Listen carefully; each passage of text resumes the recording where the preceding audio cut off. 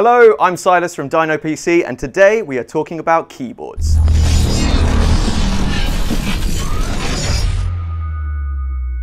Okay, so today we're going to be talking about different keyboards and uh, essentially a quick rundown, a little brief of what to expect when looking for different kinds of keyboards, what kind of features are more important than others, and realistically, what keyboard is best for you. So essentially, is it best to go for a mechanical keyboard or a semi-mechanical keyboard, or even say like a, a, a, basic rubber dome switch kind of keyboard? What, um, what's going to benefit you most?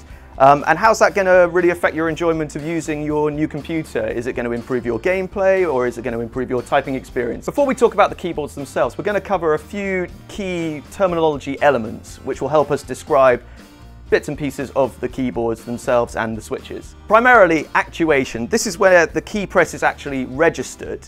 The reset point, essentially how far the key needs to be pressed before it returns to its original starting point flush with the rest of the uh, other keys.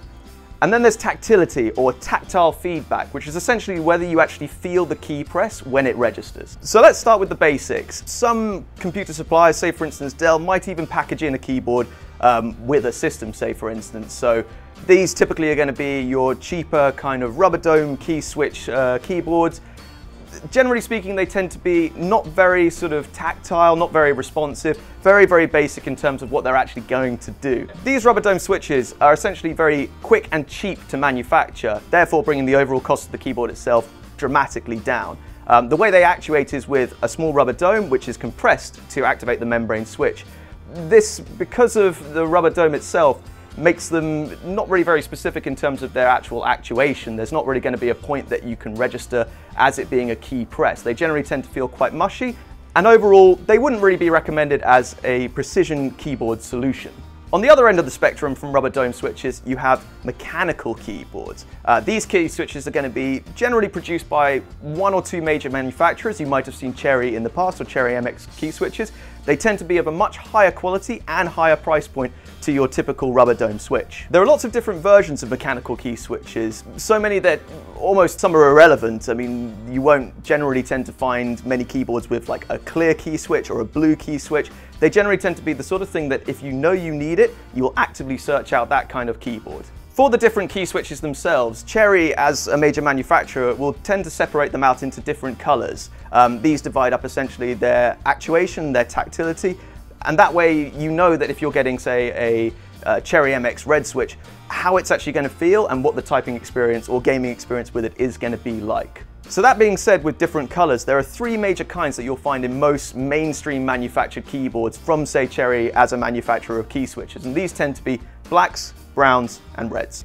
To illustrate how these switches work, we have a little animation of black switches, red switches, and brown switches. This is to show exactly how the key operates uh, when, it, when it actuates. So Cherry MX Black switches are the gamer's favorite. They have no tactile feedback, so a very smooth keystroke essentially. The actuation point is in the middle of the key itself, so you don't have to press it right to the very bottom to have the keystroke registered. The reset point is at the very base of the key switch itself, essentially meaning that you have to press the key more towards the bottom to have it reset and come back level to the same point as all the rest of the keys on the keyboard. Compared to black switches, brown switches you'll find are actually quite different. The brown switch will have a very similar actuation point to a black switch, kind of in the middle of the keystroke, but you'll find that it will actually have a tactile bump, uh, a registered point which you can feel with your fingers when the key press is actually registered. This bump or tactility is preferred by typists or touch typists, people who essentially want to type as quickly as possible. Because you can register with your finger the actuation point of the switch itself, you don't have to press the key all the way down to the very bottom to ensure that the keystroke has functioned properly. This tactility is also preferred by some gamers who would appreciate being able to feel exactly where the key itself actuates rather than just being able to mash the key as quickly as possible. For gamers similar to touch typists, you'll actually start to learn where the actuation occurs, where that bump actually is in the downward press of the key switch itself. You can WASD quicker! Cherry MX Reds are very similar to black switches in the sense that they don't have that tactile response. They are also a linear top to bottom switch, similar to a black switch. However, they require much less actuation force to actually activate the switch itself. Because the red switch requires less actuation force to register the keystroke, um, they are both better for typing than, say, the black switch, but also similar to black switches, so still quite good for gaming. They don't have that tactility, but Man, are they smooth. So that's just a quick overview of Cherry's most popular, most mainstream key switches, but you will actually find some companies have siphoned off that similar technology in a mechanical key switch sense, but have developed their own more specific key switch. So it's time to talk about Razer.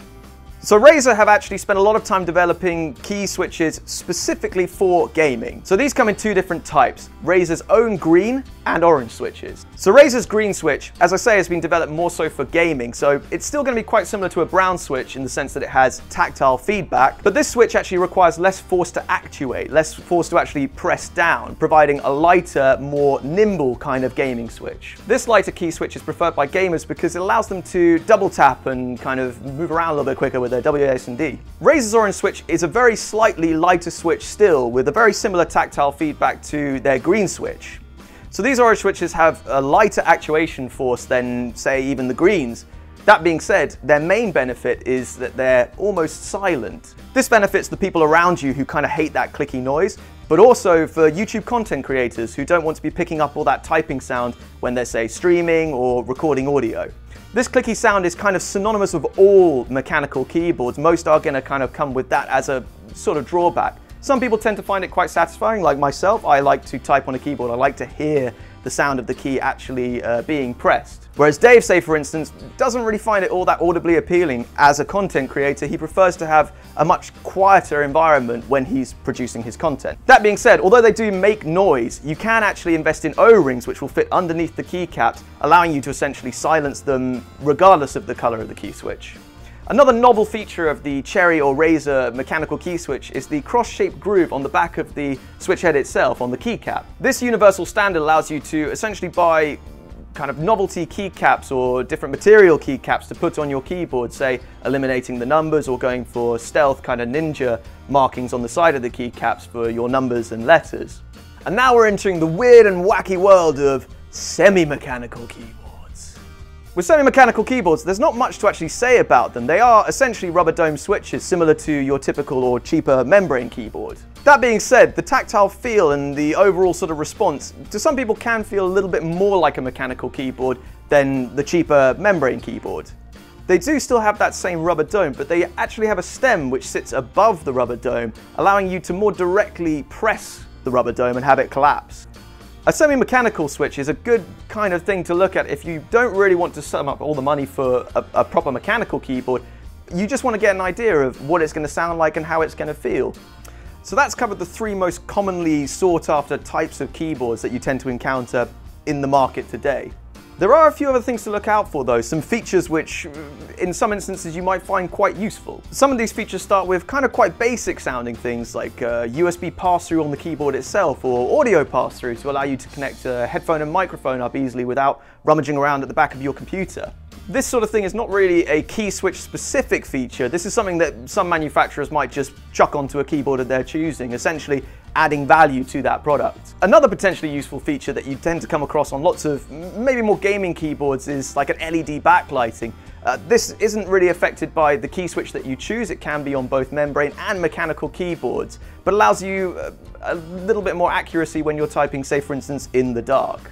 As with all kind of components and peripherals that you tend to come across in the computer market, there are some features as well which are a bit more, say, gamer specific than your typical user.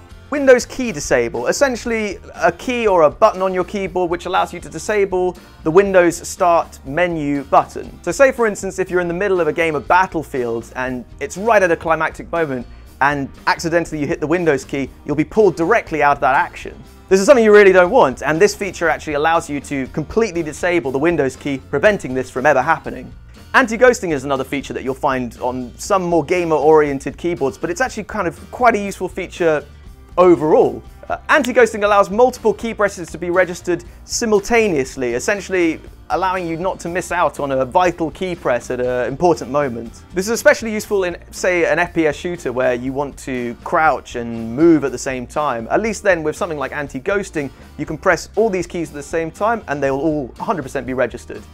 Some keyboards will actually have extra keys, referred to as macro keys, that you can kind of see in, say, for instance, this Razer keyboard. These macro keys are essentially extra keys that you can program yourself with either a particular key press or multiple strings of key presses. So say, for instance, in something like Photoshop, if you wanted to press uh, Control, Alt, and Z, or uh, a multitude of keys to kind of do a particular action, you can actually have these programmed and registered to particular macro keys, making it a little bit more convenient rather than hitting tons of keys at the same time.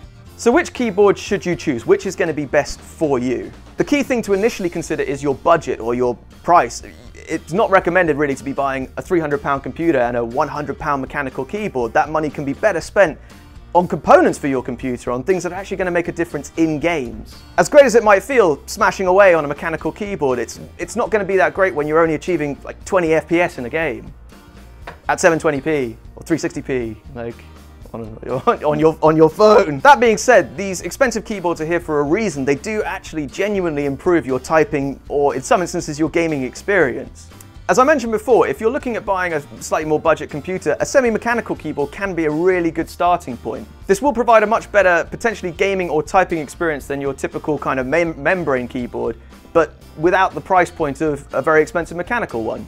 And then for mechanical keyboards, because you have such a vast selection of different switches, it can be a bit daunting picking out the one that you think is going to be best. My advice would always be find a friend, go to a store, try out as many switches as you can to make an educated decision as to what is going to be most comfortable for you to both game and type on.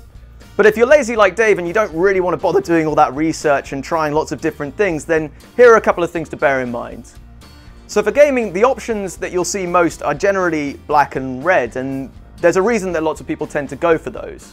It's the lack of tactility, essentially a much smoother key press that allows you to press keys a bit quicker but with significantly more accuracy.